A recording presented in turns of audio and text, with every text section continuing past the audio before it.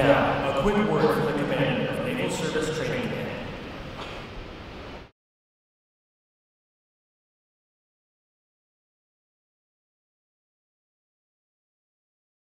Good morning. I am Rear Admiral Craig Mattingly, Commander of Naval Service Training Command. Welcome to Naval Station Great Lakes, the quarterdeck of the Navy. What an exciting day. It is an honor to have you with us as we celebrate the graduation of our newest midshipman candidates from New Student Indoctrination, NSI. Thank you for playing a significant role in the lives of these young adults.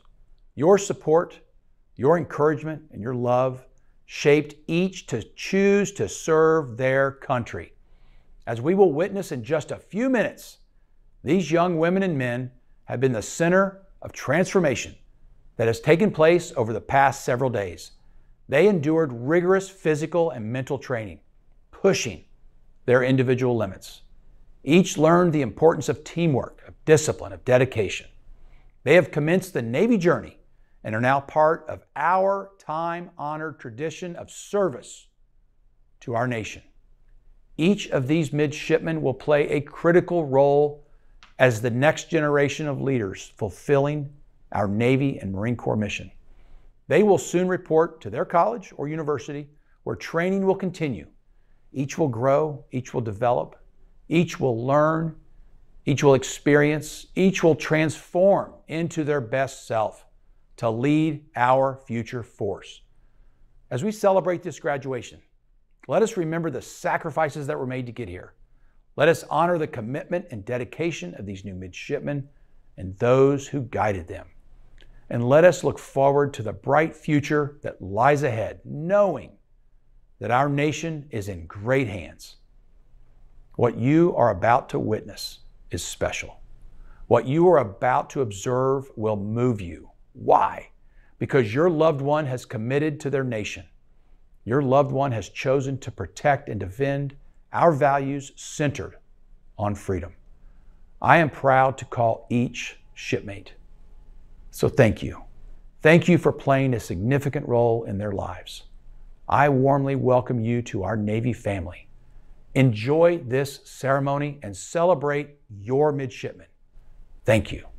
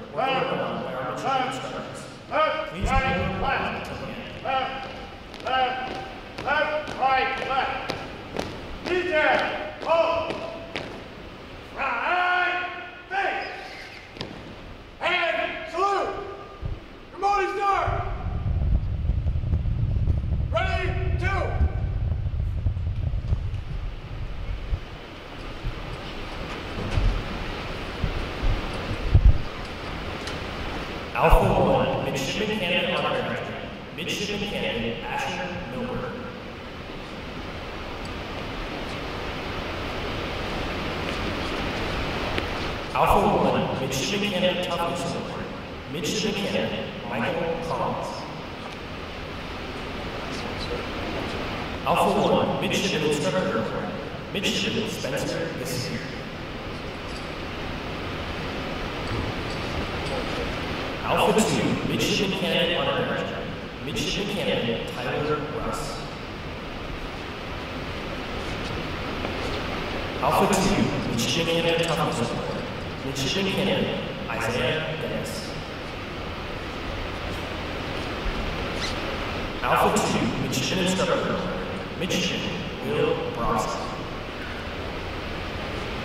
Bravo 1, midshipman at armor.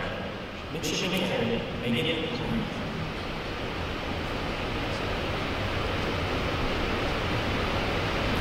Bravo 1, midshipman at Thompson. Midshipman at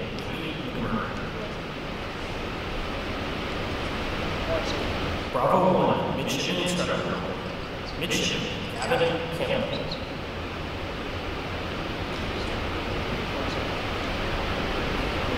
Bravo 2, Midshipman Candidate Honor. Midshipman Candidate Abigail Peterson. Bravo 2, Midshipman Candidate Toughness.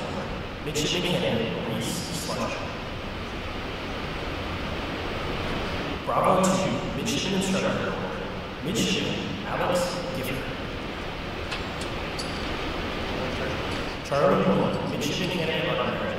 Midshipman Candidate Ty Boyer. Charlie Mullen, Michigan and Thompson. Michigan Cannon, Ronan O'Brien. Charlie Mullen, Michigan Stutter, Michigan Max Fang.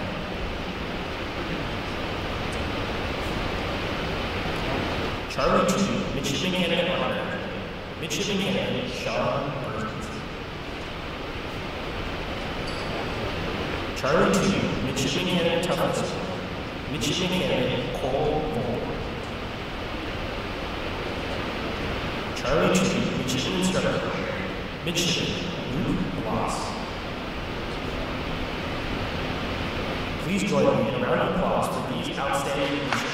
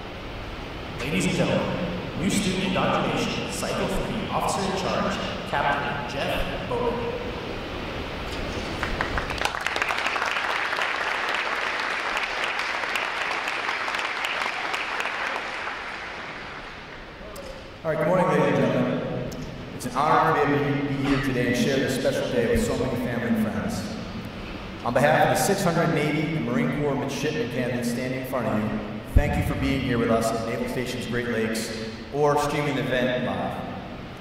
This ceremony is to celebrate these young women and men's first step in officer development and their future careers in the Navy or Marine Corps. Our goal at New Student Indoctrination was to impart basic military training. The proper wear of uniform, introduce military bearing, the importance of working as a team, and how to perform under pressure, and what it means to live by our core values. Further, these candidates began developing knowledge and skills related to core competencies shared by all sailors and Marines through weapons familiarization, physical fitness, watch standing, water survival, firefighting, and basic seamanship. Finally, my team worked to help each candidate find their identities as soon-to-be midshipmen and future naval officers who will be responsible for leading the same sailors and Marines who complete basic training here at Great Lakes or pass through Parris Island on their way to the fleet. What they learn here is just the tip of the iceberg. These lessons will underpin the next four years of training in their NROTC units as they work towards their commission in our sea services. To all you soon-to-be midshipmen standing before me, I cannot begin to express how proud I am of each and every one of you. I told you on day one that this is going to be difficult, that we're going to put you through a high-intensity training environment.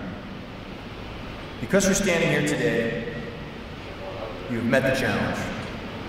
You have persevered, and you have matured. The relevance of every lesson you learned here will not necessarily be immediately apparent to you, but each will serve you well sometime in your journey. Your commitment, resilience, and determination are traits to be proud of, and ones you will need to navigate your university's education, the demand of your NROTC unit, and eventually the honor of leading other men and women who opt to serve our country and defend the freedoms that our citizens of this nation hold dear. You are joining a team that wants to see you succeed. Over the next four years, you will likely struggle at some point. Do not forget that the team is here to help. Be it a shipmate standing beside you, or one of your fellow midshipmen in your unit, or a member of the NROTC staff. We will support and guide you through these tough patches, just as you will be expected to lend a hand to a fellow shipmate in need. Our profession is a team sport, and only team players will succeed. I have faith in each of you, and wish you well in your college experience and your path to leadership in our Navy and Marine Corps. To my fellow NROTC COs and XOs seated in the dais to the left of me, these future warriors are ready to join your units and commence training. Now it's my pleasure to introduce the guest of honor, Rear Admiral Craig Mattingly, Commander, Naval Service Training Command. Admiral Mattingly is a native of Kentucky, originally entered the U.S. Navy as an aviation anti-submarine warfare operator, and later commissioned through the Naval Academy in 1995 and earned his wings as a naval flight officer in 1997. Admiral Mattingly is a veteran of the Maritime Patrol and Reconnaissance Force. He served as executive officer and then commanding officer of Patrol Squadron 9. He later selected for Major Command as Commander of Patrol and Reconnaissance Wing 11. Across his operational tours, he's accumulated more than 3,900 flight hours in the P-3 Orion and the P-8 Poseidon. Admiral Mattingly's overseas tours include U.S. 6th Fleet as the N-5 Security Cooperation Officer and then Flag Aide to Commander U.S. 6th Fleet, as well as 7th Fleet as the N-3 Operations Officer, Chief Staff Officer, Commander Task Force 72. Following his previous tours as Senior Military Advisor to the Secretary of the Navy, Admiral Mattingly assumed command of Naval Service Training Command in May of 2023. Ladies and gentlemen, Rear Admiral Craig Mattingly.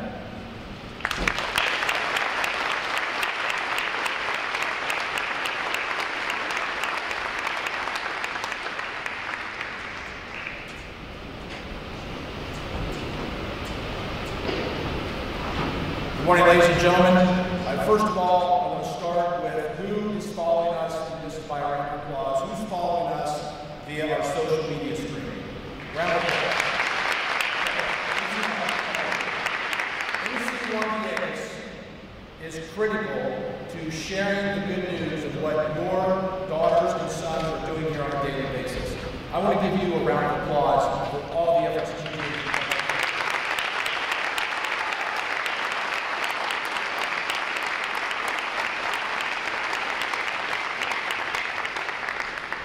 Okay, I'm going off script, so this is going to be fun. Faith, thank you so much for being here today. From the, I know the day out at Pentagon is challenging, but I'm sure you're happy to be here with us. Brigadier General Stone, thank you for your family, for, for coming here, for your father, for serving in the Army National Guard, for you serving in the Army National Guard, and then your son having the confidence to, to shift colors over the United States. So thank you. You, Lord, thank you for that warm introduction. My mom would have been so proud. My father would have wondered who you were talking about. So to you out in front of us, wearing the cloth of our nation, this is about you today. It's about you as a team, and it's about you as an individual. We're first going to recognize the folks that allowed you to be here today, and that is your family and your friends.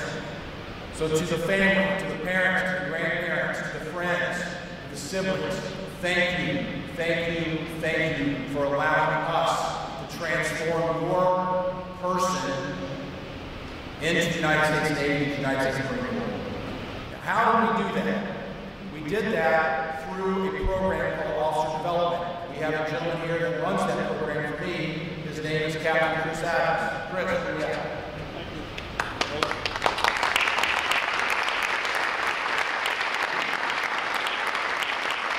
Chris Adams has a team. His right-hand person is Mr. Mark Goff. Where's Mark? Mark, stand.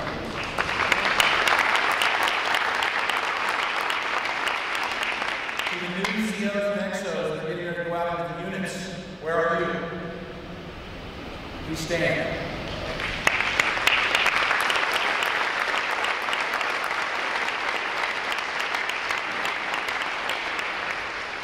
And those that have the privilege and honor to work under Nitro and his team, his triad here, Lucio Martinez and his XO, the Red Rovers, the drill instructors, the AMYs, the ensigns, the second lieutenants, the midshipman instructors, and then the RTC instructors, creating the opportunity for these women and men before you to transform from civilians into military professionals, their first chapter. So let's give a round of applause to all the instructors.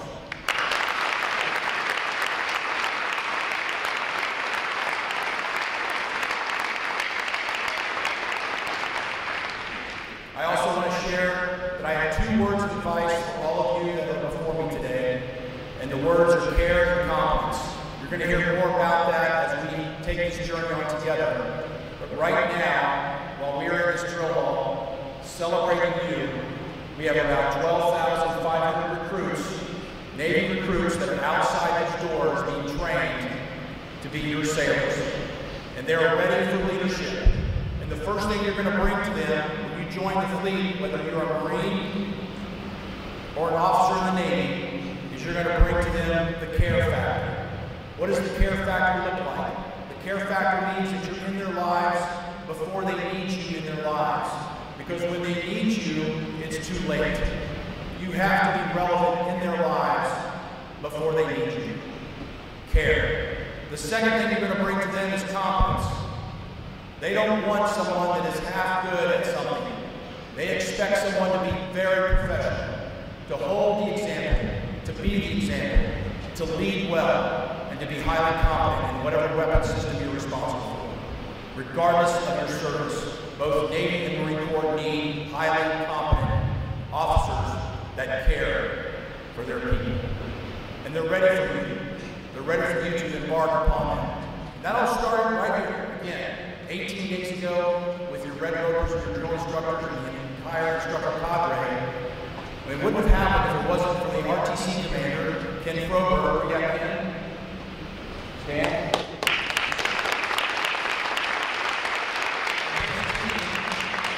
That allowed us to penetrate recruit training command and allow us to train candidates right here in the midst of our recruit training command.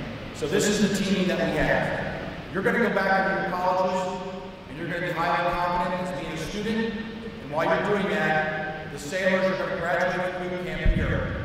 And in the next four years, while you're studying, while you're learning how to lead, they're going to be in the fleet, working on their skills, working on their profession. And by the time you show up four years from now, at the earliest, they are going to be ready for you to take them on board. They're going to be E4s, E5s. They're going to be in the middle of their career, and they're going to be looking to you to lead them. So I am comfortable with what we have done here with you.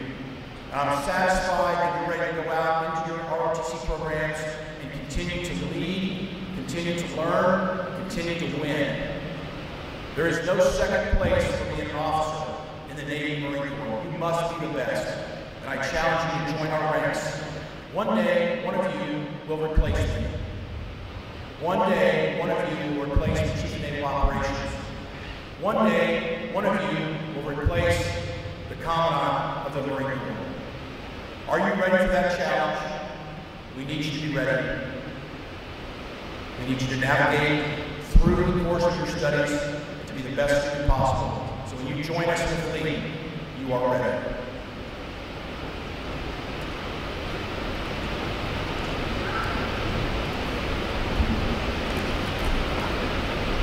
Family friends and staff that train these midshipman candidates, let's give them a final round of applause.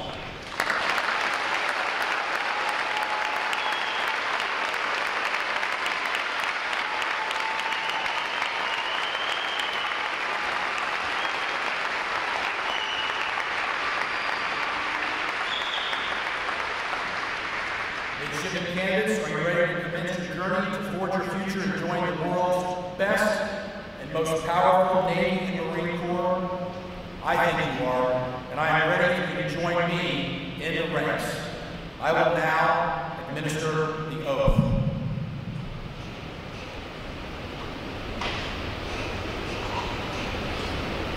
Battalion! Ivan! Go! Raise your right hand and repeat after me. Having been appointed a midshipman in the United States Navy.